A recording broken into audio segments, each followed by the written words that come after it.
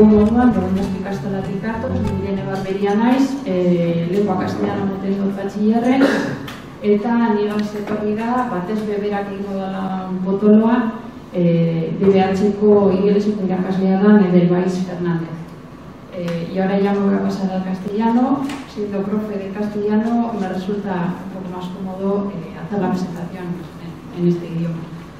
Entonces, eh, bueno, lo que vamos a presentar entonces es un trabajo eh, que se desarrolla en tercero de la ESO, de DBH, eh, en nuestra Icastola y que se enmarca dentro de la elaboración de nuestro proyecto lingüístico como un ejemplo eh, de nuestra la labor que hacemos de inclusión, de alguna manera, de la lengua en, en proyectos disciplinares. Y en este sentido se trata únicamente de un elemento más que conforma nuestro proyecto lingüístico integral, integral en el sentido de que tratamos de, eh, o estamos, eh, work in progress, por supuesto, estamos creando proyectos desde eh, educación infantil hasta primero de bachillerato en este momento.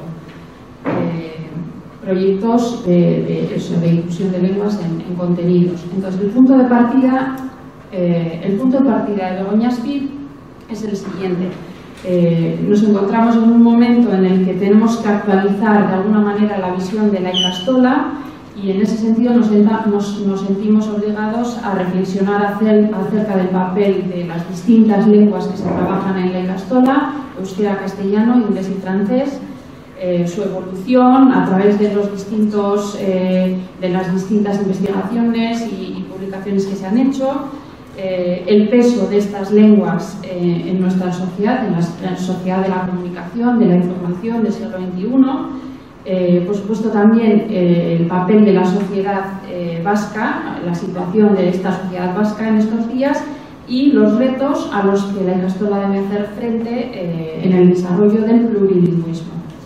Y en este sentido se plantea un plan estratégico que responda a todas estas necesidades desde, o de, de, desde el punto de vista o de cara al alumnado, a la propia sociedad y al sistema educativo. Entonces, ¿cómo eh, queremos hacer esto? ¿De qué manera queremos hacer esto?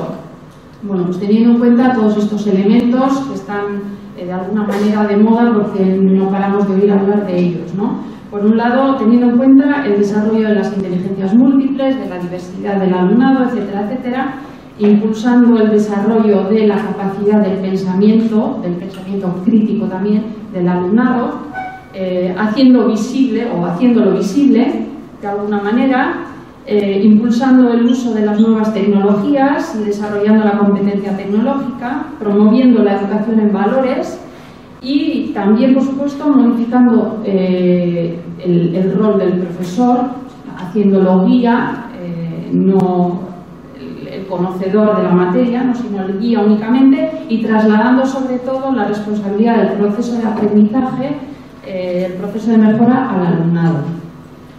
Y entonces, eh, ¿qué pasa con las lenguas? ¿No? Pues eh, es en este momento en el que eh, tenemos que comenzar a pensar y a desarrollar nuestro proyecto lingüístico que integre las cuatro lenguas y teniendo en cuenta, como ya se ha dicho a lo largo de toda la mañana, pues todas las premisas que, eh, que van de la mano con este proyecto, ¿no? Entre ellos, pues que se trata de las lenguas nos van a servir para eh, para desarrollar la competencia en comunicación lingüística, eh, todas están integradas y todos somos profesores de lengua.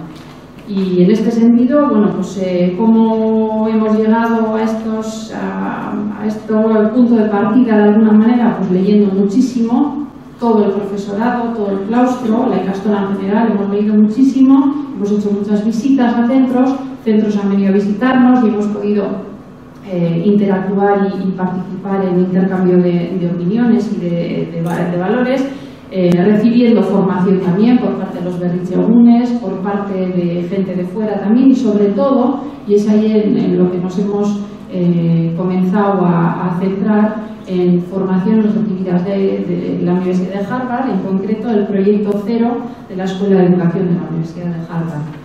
Eh, nuestros proyectos de alguna manera se están perfilando en este sentido a, ser proyectos que incluyan todos los elementos eh, identificadores del proyecto cero. Eh, bueno, y metiendo todos estos elementos en el horno, de alguna manera lo que hemos cocinado ha sido nuestro propio proyecto educativo de la Castola y, por supuesto, también nuestro propio proyecto lingüístico. Y, bueno, es decir, eh, se trata de eh, mostrar que de alguna manera ha habido mucha formación, muchas horas de trabajo, muchas horas de trabajo cooperativo entre el profesorado y en este sentido, pues, eh, el proceso de elaboración de nuestro proyecto lingüístico nos está, nos está resultando, digo, porque es el proyecto que está en marcha en estos momentos, duro, muy duro, el trabajo cooperativo entre el profesorado es duro, y es por eso por lo que hoy vamos a presentar pues, un trabajo en tercero de la ESO en concreto, y en concreto tiene que ver el inglés como lengua eh, la lengua en cuestión que vamos a trabajar en este proyecto multidisciplinar y, por supuesto, repito una vez que es un proyecto que acabamos de empezar, llevamos ya varios años trabajando en él, pero de alguna manera las primeras producciones han salido este año y, por supuesto, el plan de mejora eh, pues es importante también. Desde la perspectiva del proyecto lingüístico, la reflexión que hicimos los miembros del equipo responsable eh, del proyecto en relación a la integración de lenguas en proyectos de asignaturas de área, de asignaturas de área fue la siguiente, que, que en primer lugar nos planteamos que suponía incluir lengua en proyectos de contenido. Cómo integrar el trabajo de lenguas en el desarrollo de la capacidad de pensamiento que va acorde con eh, las directrices de Harvard y hacerlo visible y en tercer lugar, qué aspectos de la lengua queríamos impulsar en estos proyectos. ¿no? Y principalmente estamos hablando de aspectos de la lengua que tienen que ver con la fluidez, con la corrección y con la complejidad de la lengua. Son las características, eh, de alguna manera, algunas de las características principales de la lengua en tanto que eh, instrumento de comunicación. Y bueno, y todo esto ha dado lugar a la presentación que va a hacer ahora mi compañera del país eh, teniendo en cuenta todos estos aspectos, pues se incluye el trabajo de lengua en Legoñaspi, que es el proyecto multidisciplinar que vamos a presentar a continuación.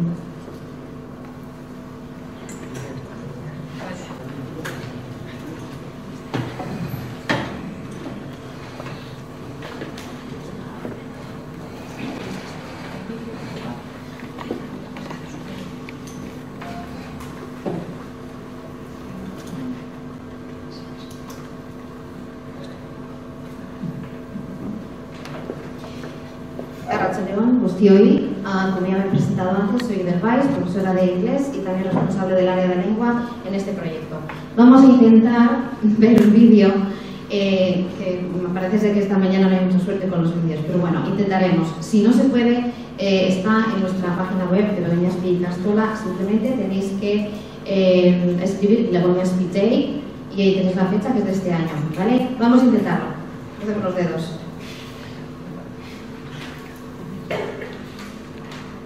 Para que os hagáis una idea de lo que significa. Son solamente dos minutos, pero gráficamente y visualmente nos podemos hacer una idea de lo que supone. Luego ya iremos entrando poco a poco en cómo se desarrolla este proyecto.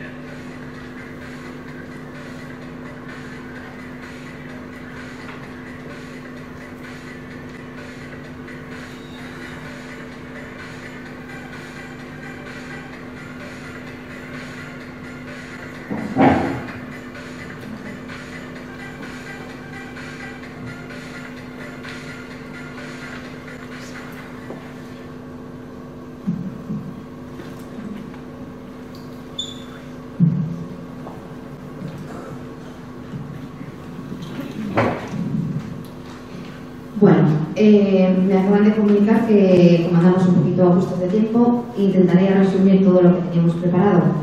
Eh, hemos empezado con el vídeo porque creemos que es una manera bastante mm, clara de ver lo que significa, aunque sea muy resumida. Eh, vale, este proyecto mm, se denomina LONIAS, que es un acrónimo de LEGO, que viene del First Level League, que es una competición internacional. Me explicaré brevemente qué consiste. Y que es el nombre de este Castola.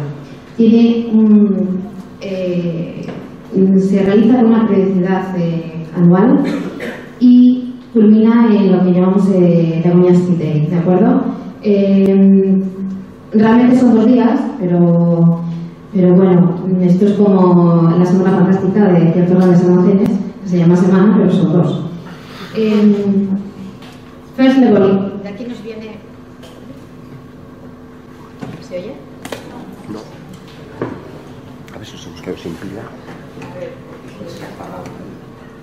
Se ha quedado sin batería, posiblemente, sin pila. Creo que tenemos aislado a la otra sala.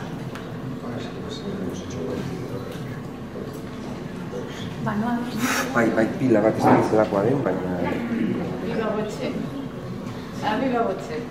Bueno, intentaré proyectar la voz. Si me oís, eh, si no me oís, me decís, ¿vale? Intentaré proyectar. Totalmente estamos acostumbrados a proyectarlo en las aulas, con lo cual espero que funcione. Em, vale, estábamos en, eh, en, dónde viene el origen de Logoña Speed Day. Eh, la idea nos vino de First Level League, que tiene principalmente dos objetivos. Para empezar, es una competición internacional y estos dos objetivos se centran en desarrollar un proyecto científico y también tecnológico.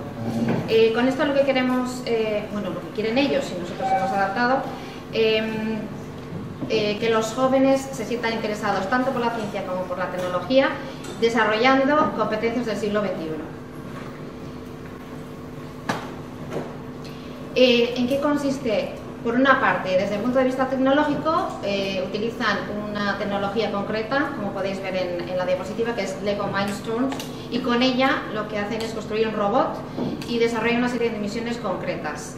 Eh, todo ello está relacionado con una temática precisa que eh, First Lego League elige anualmente y nosotros adaptamos a nuestro proyecto. Por otra parte, desde el punto de vista de la ciencia, lo que hacen es desarrollar un proyecto científico eh, en el que se tiene que enfrentar a desafíos y problemas de la vida real. Eh, este proyecto, Legoñaspi, empezó hace unos tres años, pero en ese momento las cuatro disciplinas funcionaban de manera, digamos, autónoma. Estaba ciencia, tecnología, por otro lado estaba plástica e inglés. Solamente se reunían los docentes involucrados para temas organizativos pero luego pasamos a eh, desarrollar un proyecto multidisciplinar. ¿Se me oye por atrás? Sí, vale, gracias. Entonces, ¿qué es lo que hicimos?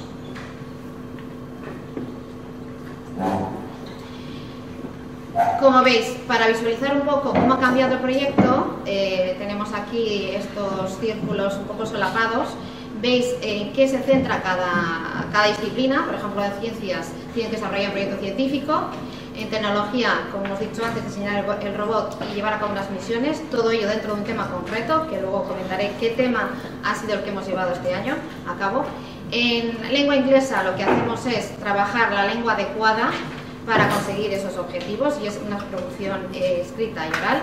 Y en plástica se centra en el diseño de un logo, un stand y también el eh, diseño de la exposición.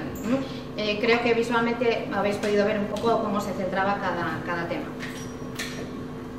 Vale, eh, ¿cómo desarrollamos esto ahora? Lo que yo llamo un 4x4 tracción a las 4 ruedas.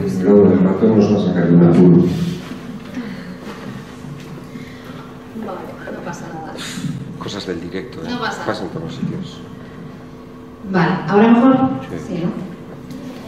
Bien, estamos en el 4x4. Son cuatro áreas de conocimiento, cuatro docentes, cuatro alumnos por grupo eh, y que se reúnen cuatro horas seguidas a la semana.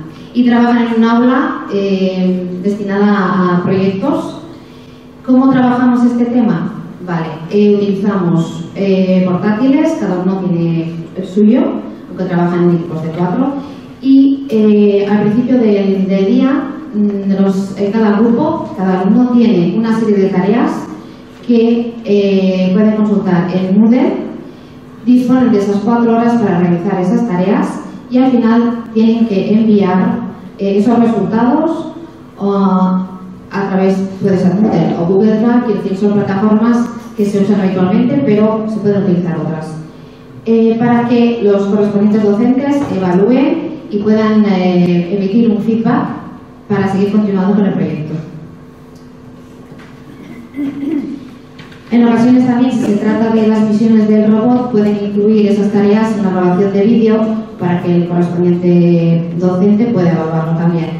Como podéis ver en la siguiente diapositiva, eh, los alumnos están trabajando en grupos, grupos de cuatro, en diferentes tareas. Puede ser el robot, el trabajo científico, en la imagen inferior podéis ver el plano de esta sala multidisciplinar que dedicamos a los proyectos y es importante también que cada grupo tenga su eh, mesa de trabajo asignada y se hacen responsables tanto de ella como del, del aula general y al final de las cuatro horas hay unos responsables que se encargan de eh, tomar nota de cualquier anomalía, irregularidad, etc.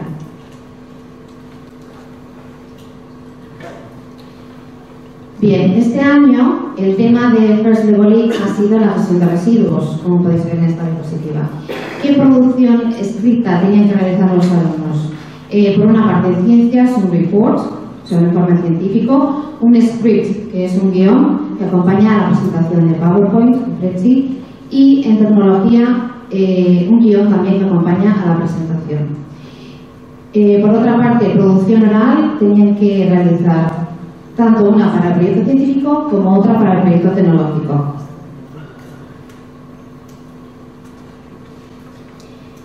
Centrándonos ya en eh, lo que es la lengua inglesa, que era la lengua vehicular de este, de este trabajo, eh, nos centramos en el registro formal, debido a la tipología de, la producción que tenían que realizar. Eh, comenzamos por las características del registro formal, la diferencia entre este registro y el informal, así como ejemplos concretos. Luego pasamos a eh, tratamiento de la lengua académica, eh, proporcionando una serie de frases eh, más utilizadas y más comunes dentro de este ámbito.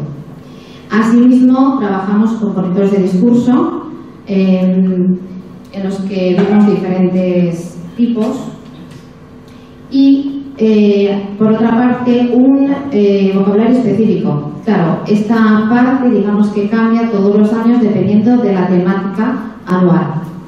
Eh, hay una serie de palabras básicas, también trabajamos con locations o, para ver cómo funcionan en su conjunto. Y por otra parte, todo esto digamos que se centra más que nada en la producción escrita.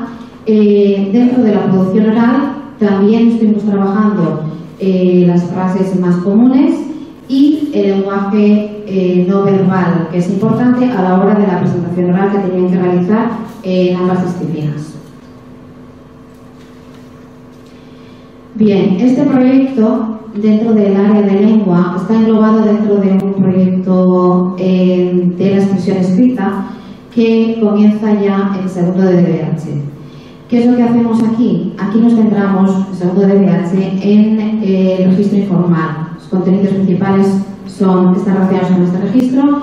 La producción eh, que tenemos son eh, postales, relatos breves, etc. Y es muy importante hacer hincapié en el proceso de la expresión escrita, que incluye los mind maps o, o los mapas mentales, que esto es válido para cualquier tipo de, de producción escrita, simplemente hay que adaptarlo a, la tipología. Eh, ¿Qué contenidos eh, generales o básicos encontramos aquí? Bueno, el orden básico de, una oración, categorías gramaticales, tipos de oraciones, conectores de discurso, aunque en este momento, en el segundo DBH, nos centramos en los básicos y más utilizados en el registro informal, para luego ya en tercero DBH eh, hacer ya un salto al registro formal y luego las secciones principales dentro de, cada párrafo, que esto es válido también para el registro.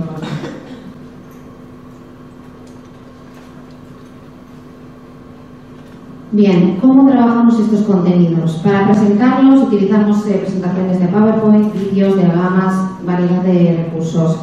¿Cómo los trabajamos luego? Eh, diferentes eh, ejemplos y diferentes tipos de, de, actividades o tareas que tienen que realizar los alumnos. ellos son los que tienen que realizar su propio vocabulario que está en relación a la temática que corresponde a este año para Speak y First Level eh, tienen que realizar un, listado de sinónimos eh, con ejemplos, oraciones, etc. Luego también tenemos diferentes ejercicios que pueden ser para trabajar los conectores de discurso más, digamos, habituales, eh, como rellenar huecos, etc. Y también ejercicios de compresión lectora y compresión auditiva. Eh, aquí podemos ver lo que hemos comentado antes, que ellos son los que tienen que producir su propio listado de sinónimos. Como hemos comentado antes, este año el tema era la gestión de residuos, entonces aquí tenemos un ejemplo, como podéis ver, eh, la palabra concreta, una definición en inglés también y un ejemplo para verlo en contexto. Eh, hicimos hincapié en que no se trata de sinónimos eh, absolutos sino parciales, en este área concreta, por ejemplo. Es algo que ellos tienen que tener claro y por eso hicimos hincapié en que tenían que ah, adjuntar una oración de ejemplo para ver cómo se desarrollaba este tipo de sinónimos. Vale, ahora a ver si podemos ver eh, una serie de muestras concretas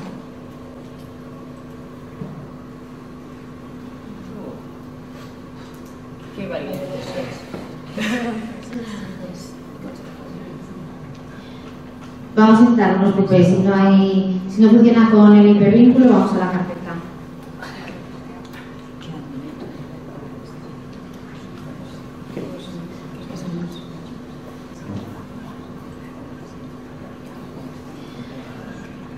Bueno, que la tecnología no nos está ayudando. Ah, bueno, tenemos suerte. Vale, eh, como podéis ver, esta es una producción escrita de un grupo concreto eh, ¿Cómo hacemos el feedback? Eh, el docente responsable del área de contenido correspondiente, que puede ser ciencias o tecnología, primero proporciona un feedback en cuanto a contenido, ¿de acuerdo? Y luego, una vez que se pasa ese filtro, vamos al área de, lengua, en este caso de inglés. Eh, dividimos los trabajos en, secciones y se, van, se va proporcionando el feedback por secciones, por cuestiones prácticas por una parte, por ejemplo, los reportes de ciencias son bastante relativamente extensos, eh, con lo cual para facilitar el trabajo por una parte y por otra parte también para que no se produzcan los mismos errores continuamente. Eh, ¿Cómo se realiza este feedback? Como podéis ver ah, en el margen derecho hay comentarios del profesor correspondiente y además con un código de color. Así los alumnos saben qué tipo de errores o qué tipo de aspectos tienen que eh, mejorar o trabajar. Eh, puede ser, por una parte, errores gramaticales, errores ortográficos, puede ser una cuestión de registro o estilo, eh, por ejemplo, en este caso, el color azul significaba registro o estilo. Puede ser que el contenido no esté expresado de forma adecuada y quede un poco confuso, es decir, luego está un poco a la elección de cada uno cómo se, se realiza este feedback. Bueno, con un ejemplo, creo que aunque tenemos más, vamos a seguir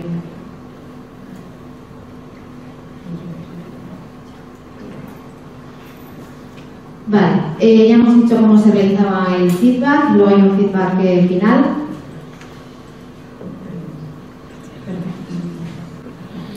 Eh, simplemente vamos a mencionar rápidamente criterios de evaluación de producción escrita. Aquí tenéis cuatro categorías bastante habituales.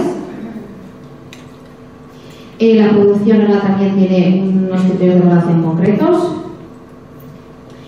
Bien, entonces, llegando a las conclusiones. ¿Qué, hemos, lo que, ¿Qué, es lo que hemos podido observar? Vale, el número de estudiantes por grupo en este trabajo cooperativo es cuatro. Y en ese sentido eh, funciona bastante bien. Mm, cada uno se hace responsable de una tarea individual y esta tarea individual es crucial para el eh, conjunto de trabajo cooperativo.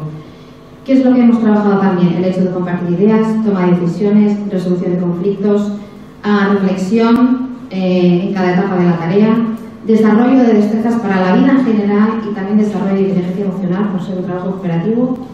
Em, tiene que cumplir una serie de fechas límites, gestión del tiempo. En cuanto a conflictos en los grupos, eh, a veces había también algún problema en cuanto a gestión de tiempo o diferentes tipos de actitudes frente al trabajo o al proceso en sí. Siempre hay actitudes más relajadas, eh, otros eh, que son más perfeccionistas. ¿Y qué debilidades tendríamos que mejorar? Bueno, como hemos dicho, este tipo de conflictos internos bueno, también hay mm, cuestiones que surgen que están un poco, se escapan de nuestras manos, como eh, algunos temas que han sucedido aquí hoy, el tema con la tecnología, el wifi, que alguna otra compañera ha comentado antes, los ordenadores, porque trabajamos continuamente con, eh, eh, esta tecnología.